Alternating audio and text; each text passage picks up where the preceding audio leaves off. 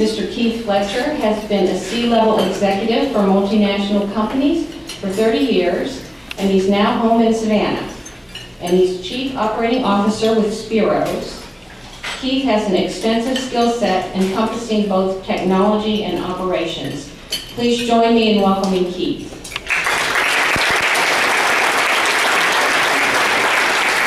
Sure, I'm Chief Operating Officer for Speros. We're the largest technology services company in the region. And I'd like to spend a couple of minutes today talking to you about the cloud and cloud computing. How many of you right now are using the cloud? Almost everyone. That's terrific. It provides so many advantages over the old models that we used to have. Now, but really, what is the cloud? The cloud really isn't a thing, it's more of a place. It's where applications and services, networks, everything can reside there. Your data. Now, we've all used our email up in the cloud, accounting systems up in the cloud. But today, everything is living there. The new PCs that are coming out are truly designed for the cloud. You're looking at the applications are so much more flexible than they used to be. They reach out and grab more, more functionality, more capabilities from the cloud than you would normally have had if it was just installed on your machine standalone. The cloud is keeping our things permanently updated. You have shared storage. So now your files are accessible to you everywhere. You can go home, your files are still there for you. You can be on the road, they're there on your tablet. Obviously, just from that, your productivity is improved. But also, your experience with technology is being improved by the cloud. Your information is accessible on all devices. You're not tied any longer to just your computer in your office or your PC at home. Your tablet, your phone, your iPad, your Mac, everything. Your applications, your data are available, and today's PCs are really becoming more cloud centric. This makes the cloud make even more business sense. Now, but the cloud itself, looking at scalability. When all of you started with the cloud, were you the same size? Were you doing the same things when you started? The cloud lets you scale and grow. If you add people, you don't have to go and buy more equipment any longer. You can just increase your licenses or perhaps just use more. The cloud is much more reliable. You're looking at, instead of having to have your systems living in your office where you have to maintain them, now you have professional teams maintaining the infrastructure, maintaining your applications. We're looking security. We've all heard about everything that's been hacked. The federal government, Target, everyone. So everyone is a target, and everyone is subject to getting your data taken. But imagine if you had to protect it all on your own. If it was sitting in your office and you have to protect your customer's credit card information yourself, if you had to protect your patient information if you're doctors, you had to pay all the money for experts, you had to buy all the perfect equipment to make sure that these people who've even been able to breach the federal government, you've done everything possible to protect that information because that's your responsibility. In the cloud, your provider is responsible for that they have professionals handling security, doing that for you, so you don't have to worry about it. As with today's PCs being designed to work with the cloud, the cloud is where the productivity is being provided from. You're getting your information, your data, your applications. You're getting a continuous, consistent experience. How many of you use your smartphone for business? How many of you use it for more than just email? You can now get at your information and your applications on your smartphone, let alone a tablet, let alone your Mac at home. Or, worst comes to worse, the business office at a hotel if you have to. Everything is available to you, and you can be productive and you can work because we've all put so much of our applications into the cloud. This obviously has made us all more productive, meaning it's making good business sense. Now, we all just talked about the cloud generically.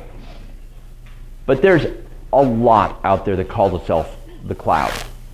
It seems like almost every day you hear about a new cloud something, a new cloud person, application, provider. I want to spend a few, definitely a few more minutes talking about what the right cloud solution should look like.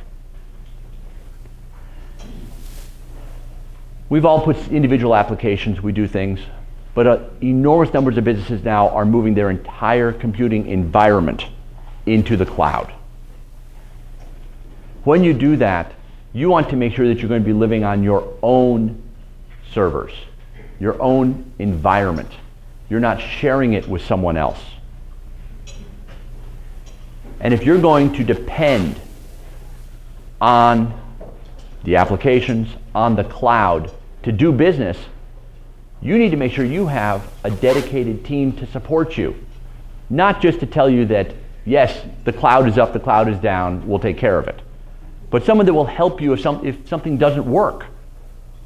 If you have put your environment in the cloud and you're running your accounting system up there, all of a sudden that stops working, it doesn't do a lot of good for you. Someone says, no problem, the server's running. You need to have someone that will help you with, you need to have someone that will help you with your application. Can you get your accounting system back up and running? Can you get your customer relationship system back up and running? Your shipping system? You need a dedicated team that understands what you need if you're going to be moving into the cloud. And the right cloud will provide that. Now, a secure environment. Because the cloud can be anywhere, first question you should ask yourself where is it? Is it here in the United States? Is it in Atlanta? Is it in Colorado? Is it in Costa Rica? Is it in England? Where is it? That's your very first question because if your cloud that you're using isn't even in this country, what laws is it subject to? What security is wrapped around it? What recourse do you have if something happens? Everything about security and a secure environment starts with trusting the people that are running it. So you need to know who it is and where it is.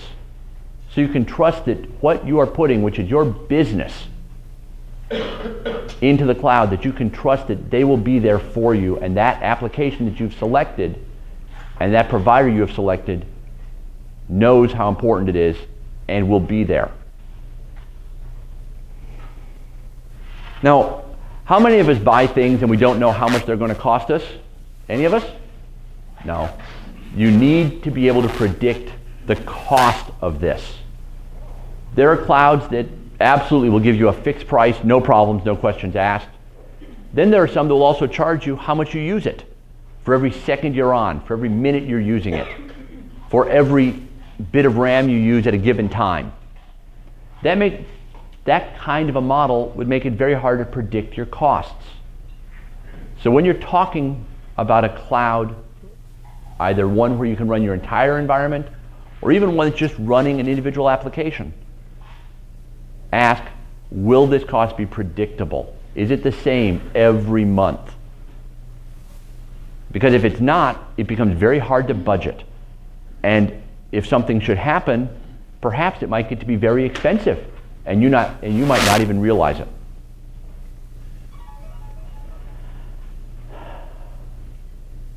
We all have systems in our offices. We've all had them for years. How many people do not have backups? Terrific, no hands at all. The cloud needs to have backups too. You need to make sure by asking, do they back this up? Do they test their backups? And are their backups moved off-site? Do they live somewhere else? If their data center goes down, will your application still run? Can they actually survive if a hurricane hits their location, or an earthquake, or a tornado? Will you still be able to function even if their primary data center is taken out? If they can't, well, that might not be a good idea. Along with making sure they're survivable, can they survive the basic things? Things break. We know everything breaks. Redundancy. Do they have enough hardware to keep running even if something breaks, if something stops working? If the power company stops delivering them power, will they keep running? Do they only have batteries so they can only last for a few hours? Do they or do they have a full generator that can keep them running for days? And what kind of bandwidth? Obviously, they're going to have a lot of bandwidth coming in if they're a cloud provider, but do they have it coming from multiple companies? Comcast, who's the sponsor here, provides tremendous bandwidth. But no matter what, you can't rely on just one carrier. So do you have, do you have something coming from another carrier? Do they? Do they have multiple carriers? Do they have three or four? Do they have two? How do they have their network designed to stay up even if one carrier has problems? Ask them. Then one thing that is more pressing and is newer, encryption. Do they provide it? Can you get encryption from them? Not just is your data going back and forth from them encrypted, but can you get encrypted files? Can they help you with that? Your email, can they provide proper encryption that satisfies federal regulations? As we know, any personal information that you have about your customers that's not public, you must protect. You can't accidentally send it out. You need to, you need to keep that secure for them. That's, that's now the law, besides being our ethical responsibility. Can your cloud provider, where your data lives, help you with that? Can they help you keep it encrypted? So even if someone manages to hack into your environment, is the data there the secure personal data that you must protect, is that protected even more with encryption? Can they do that for you? Ask. That's something that you need more today than in the past. And it's going to become more important as we go forward. Being able to secure your information and your clients and your customers' information. Now, we talked about last minute or two on the cloud, basically the hardware and the services. But you're not using the cloud, you're using the software that's running in it. You all run your business using software. For small businesses, you're probably using QuickBooks for your accounting. Massive businesses use SAP. There's all kinds of software, but that is what you use to run your business. Is your current software cloud capable? Could you move that into the cloud? New software is, almost all of it is, but how many of us could actually afford to replace our software? This is where your cloud provider can help you, or should, I should say, help you determine your current software. Is it compatible? What has to be done? Can it move to the cloud? Can they do an assessment for you to make sure that your old software can it be run in the cloud if you want to? Can you move to a system where you can access your data everywhere? By doing that with a cloud provider that understands it, that's important. Because if someone says, we can take care of everything for you, you just have to spend an incredible amount of money, eh, maybe you have to think twice. But if you can, the right people may be able to help you move into the cloud with the software that you have now.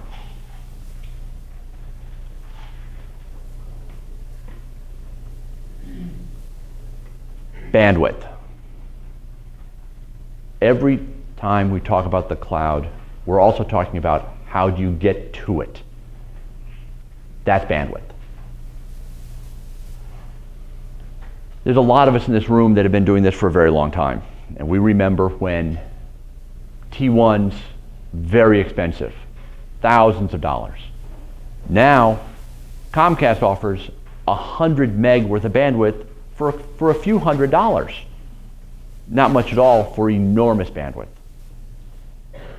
Get as much as you can.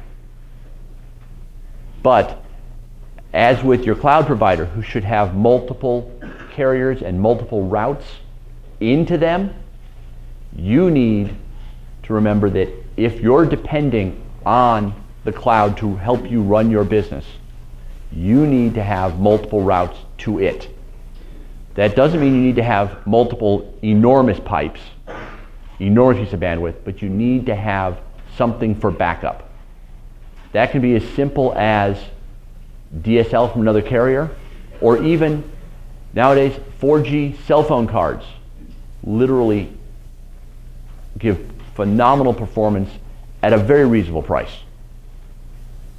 Verizon here provides beautiful bandwidth, but you have numerous choices for that.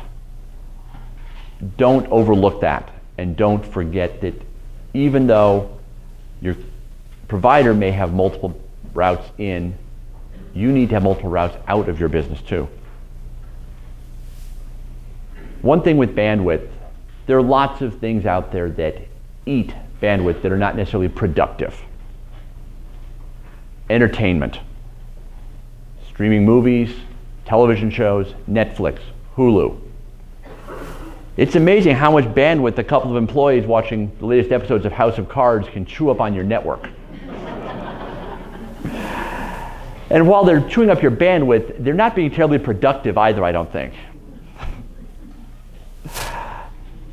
you need to look at blocking those types of applications, those types of entertainment services that not only they suck time from your employees, but they also consume your bandwidth. This again is where sometimes your, maybe your cloud provider can help you understand how to do this, or certainly your IT team can help you with that.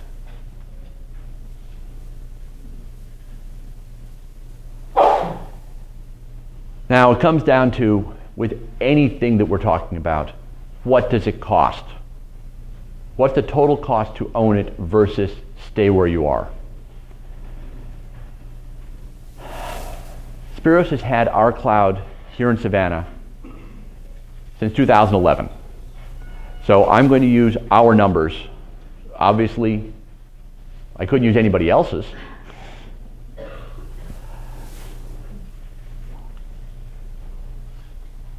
If you're looking at buying a traditional server, installing your software, making it work, you're looking at upwards of $20,000 to get that in, to get it working, get it running.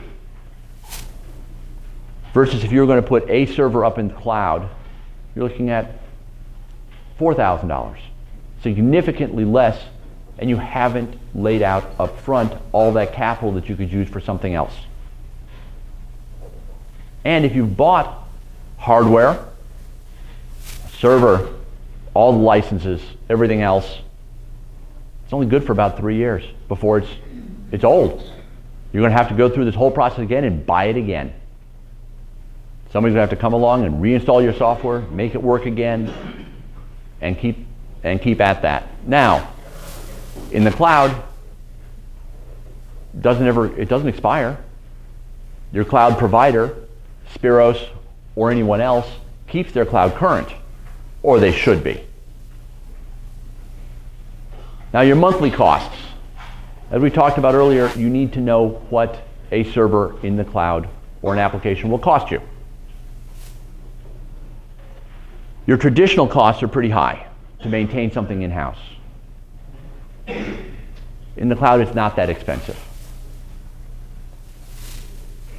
When you get down to the bottom line, you're looking at over the lifetime of using an on-premise server over its entire lifetime of what it can deliver to you, you'd be looking at upwards of $80,000 versus about 20 for a cloud-based application. A graphical way of looking at it, you're looking at the difference between almost four to one on total cost. Your monthly costs with traditional, because obviously then you're paying for more support, more licensing, more maintenance, and of course your capital cost up front, much higher. You had to buy a good server. That costs money. Now we're looking at, these are numbers from Speros. But even if you were to look at, where else, these, the cloud is much more cost effective. It has been talked about everywhere from Gartner to the New York Times. The cloud is more cost effective. It will, it does save money if you make the right choices. Now,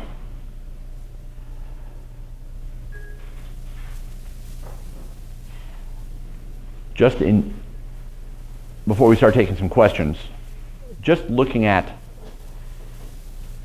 the points that I went over, looking the, with the right cloud, it's going to work with your existing systems and especially with the new computers that are out there. Your productivity is improved because you have access not just to your data, but also to your applications from everywhere on every device. So you aren't tied to your office any longer. You're not tied even to your home office. It's much more secure. Instead of you having to worry about how to secure your data, you now have a team that's doing that for you. You know where it is, you know who they are, and their job is to protect you. So you don't have to worry about it. When you when you have put things in the cloud, the reliability is higher because it becomes responsibility of your provider to keep it that way. You don't have to worry about it. It delivers the applications that you need when and where you need them. That, even if it did nothing else, but your ability to work anywhere on your schedule when you need to, makes cloud-based computing a great business decision. But it's also more cost effective. So if you're going to couple better productivity, much better accessibility, and higher cost effectiveness, it becomes a very good business decision. Now, little tiny bit of for Speros, our cloud was brought up in 2011. We're scrubbing over a million email transactions a day, and we do provide true 7 by 24 support for everyone. We have a large number of customers in the cloud. And at this point, I'd like to take some questions.